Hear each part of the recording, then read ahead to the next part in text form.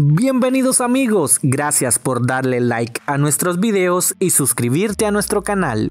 El futbolista hondureño Luis Palma hace historia al anotar su primer gol con el Celtic en la UEFA Champions League el miércoles 25 de octubre en el juego correspondiente a la jornada 3 de la fase de grupos cuando se jugaban 28 minutos de partido con el marcador 1 por 1 al Catracho le quedó la pelota solo en un costado del área y sin pensarlo, le pegó de derecha al balón para que impactara en el poste y se metiera al fondo de la red. La anotación del hondureño provocó que el Celtic Park protagonizara un solo grito y además todo el estadio ovacionó y coreó el nombre del futbolista Catracho que estaba haciendo el 2 por 1 parcial a favor de su equipo, en el juego que finalmente terminaría empatado 2 por 2. Cabe mencionar que Luis Palma había anotado contra la Lazio en la jornada 2, pero ese gol no contó porque fue anulado por el VAR por posición adelantada, por lo que este fue el primer gol de Luis Palma en la Champions League. Cabe destacar que Luis Palma es el segundo futbolista hondureño que anota en la UEFA Champions League. El anterior fue Andy Najar con el Anderlecht en el 2014 contra el Arsenal. Sin duda Luis Palma está dejando muy en alto el nombre de Honduras.